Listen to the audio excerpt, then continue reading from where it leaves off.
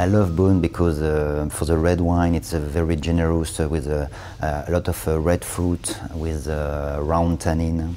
And uh, I love the complexity of Beaune because uh, if you think about uh, Les Beaunes Les Marconnets, it's, it's very well structured wine with beautiful tannin, but for a long aging potential.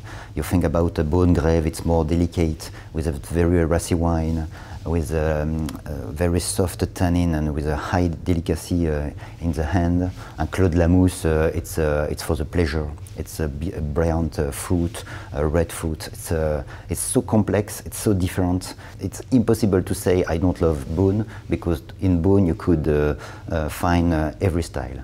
The owner of the Beaune appellation, it's mainly um, les grandes maisons, as Drouin, as Chanson, Bouchard Père et Fils.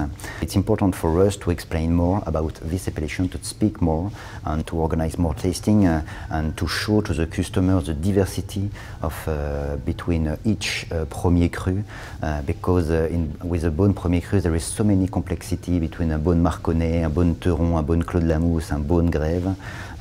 you could exactly understand what we speak about the, the notion of terroir in Bourgogne, you could understand the typicity of the soil in the wine, and that is absolutely marvelous. My two favorite uh, in Beaune uh, are uh, firstly the Beaune Clos de la Mousse. Uh, I love the Clos de la Mousse. la Mousse. Uh, Clos de it's a specific terroir. Uh, the soil, it's a red clay, dense.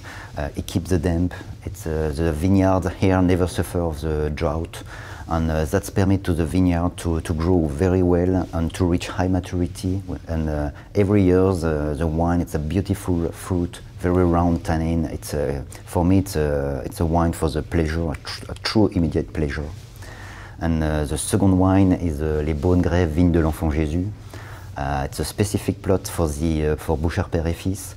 Uh, it's a Beaune Grèves. The soil, it's a gravelly soil.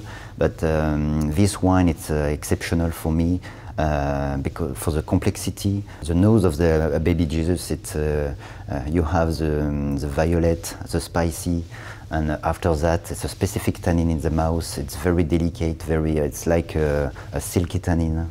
It's so long, and uh, I have the opportunity to taste uh, Baby Jesus 1865, 1891, and when you taste this wine, it's absolutely marvelous.